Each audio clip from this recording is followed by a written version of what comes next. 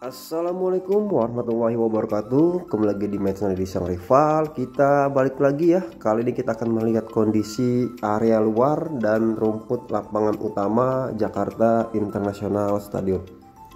Kita akan melihat progres terkini dari proyek tol Harbor 2 Di mana untuk area proyek tol Harbor 2 ini kita bisa melihat ya kondisi pondasinya sudah banyak yang dicor dan sebagian sudah berdiri ya untuk besi-besinya sedang dalam proses perakitan. Dan terlihat juga untuk kondisi lalu lintas jalan RE Marta Dinata ini terlihat lancar ya. Dan ini kondisinya yang sudah dipasang dua tiang ya baru proses pemasangan pembesian. Nanti kita juga akan melihat kondisi rumput lapangan utama Jakarta International Stadium. Nah ini masih area proyek tol Harbor 2 di mana masih terus dikerjakan atau masih on progress.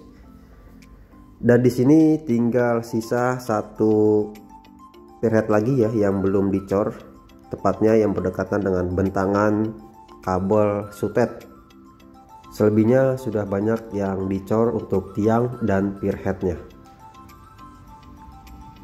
Dan pier ini adalah yang nantinya akan menjadi dudukan precast girder beton ya untuk jalan tol Harbor 2 ini. Jadi dari arah area pos 1 Pelabuhan Tanjung Priuk atau dari area terminal Tanjung Priuk posisinya menanjak sampai melewati area zona utara Jakarta International Stadium. Dan di sinilah posisi ramnya ya atau tanjakan atau mulai menaik hanya untuk melewati area atau jalan tol Harbor 1 atau jalan tol yang sudah beroperasi ini. Dan terlihat untuk tiang horizontal ya dalam proses pemasangan bagisting tinggal proses pembetonan ya atau pengisian coran dan Nantinya juga di area tersebut akan ada stasiun kereta rel listrik JIS. Terlihat peronnya juga sudah dikerjakan. Namun untuk progresnya kita belum bisa melihat kelanjutannya ya karena sampai saat ini belum ada kelanjutannya untuk progres dari stasiun kereta rel listrik JIS. Nah sekarang kita langsung menuju ke area atap retractable roof atau atap yang bisa dibuka dan ditutup. Perlu diketahui pada akhir Maret ya, sekitar akhir Maret atau awal April rumput ini baru saja diganti ya. Dan sekarang kita bisa melihat kondisi rumputnya sempat dipakai turnamen mini di JIS Jakarta International Stadium. Nah ini untuk di area zona utara. Lampu rumput atau groleknya sedang dioperasikan. Ada 1 2 3 4 5 6 ya. Ada 6 unit yang dioperasikan yang dua posisi dalam keadaan off atau tidak dinyalakan dan terlihat untuk area yang di depan lampu rumput atau grolek rumputnya lebih hijau ya karena beberapa hari yang lalu di area tersebut dinyalakan groleknya ya berhari-hari ya. 24 jam nonstop dan sekarang kita bisa melihat kondisinya atau hasilnya dari rumput yang dibantu dengan grolek atau lampu rumput jadi sekali lagi ini kemungkinan ada akhir bulan Maret atau awal April ada di video sebelumnya. Rumput ini kalau nggak salah ya mengalami pergantian dan sudah digunakan untuk turnamen mini JIS pada akhir Mei dan awal Juni ya. Dan terakhir dipakai pada tanggal 2 Juni tahun 2024 tepatnya di hari Minggu. Dan ini kondisi rumput saat ini kita bisa melihat kondisi rumputnya ada beberapa area atau bagian yang belum maksimal. Namun untuk selebihnya kita bisa melihat juga sudah menghijau atau sudah tumbuh tunas baru. Untuk LED perimeter juga kita bisa melihat masih terpasang di area pinggir lapangan utama Jakarta International Stadium.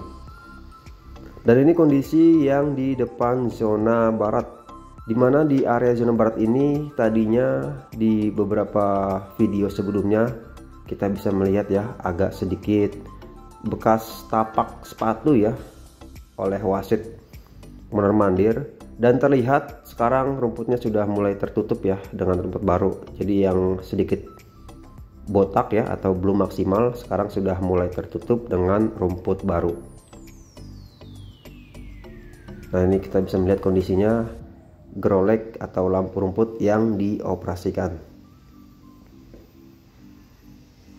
Mudah-mudahan ke depannya rumput lapangan utama Jakarta International Stadium ini menjadi lebih baik lagi, menjadi subur, menjadi bagus ya, tebal, berpola dan yang pastinya yang mudah-mudahan untuk akar rumput bisa mencengkram atau mengikat kuat ke media tanam ya seperti pasir. Jadi ketika digunakan oleh para pemain, pemain bisa merasakan kenyamanan, keamanan bermain di lapangan lapangan utama Jakarta International Stadium. Dan di sini juga memiliki lapangan latih satu dan lapangan latih dua ya. Ada di video awal sebelum kita menuju ke area atap ini. Mudah-mudahan rumputnya bisa menjadi lebih bagus lagi. Dan sekarang kita akan melihat kondisi di area sekitaran Jakarta International Stadium. Nah ini kondisi di area tribun tier 1, tribun tier 2, dan tribun tier 3. Jadi ada beberapa bagian yang rumputnya masih belum maksimal. Jadi kita bisa melihat ya, ada area yang masih menguning.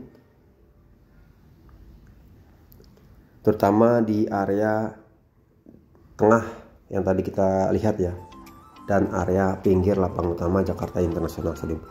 Nah ini adalah area maaf ya ini adalah atap retractable roof. Jadi atap ini menggunakan membran RV yang bisa tembus cahaya atau bisa tembus pandang sampai ke area bawah lapangan utama Jakarta International Stadium. Selebihnya menggunakan baja ya tertutup dan di sini memiliki skyview deck yang bisa mengelilingi 360 derajat. Bisa melihat kondisi pemandangan dari atas. Namun belum dibuka ya. Mudah-mudahan ke depannya bisa dibuka untuk umum. Agar para pengunjung atau penonton ya supporter yang lainnya ya bisa melihat ketinggian dari Sky Deck Jakarta International Stadium. Jadi misalkan masuk bisa dibatasi ya per orang ya agar tidak terlalu banyak di area atap atau di area Sky Deck. Nah ini kondisi zona utara Jakarta International Stadium. Di sinilah ada proyek tol Harbor 2 yang masih on progress. Mudah-mudahan proyek ini cepat selesai dan cepat dipergunakan oleh masyarakat agar nantinya bisa menyusul ya pembangunan-pembangunan lainnya di sekitaran Jakarta International Stadium atau di area luar. Dan mudah-mudahan stasiun kereta rel listrik di sini bisa dilanjut pembangunannya. Oke, segini dulu video dari saya. Kurang lebihnya mohon maaf. Wassalamualaikum warahmatullahi wabarakatuh. Selamat menonton.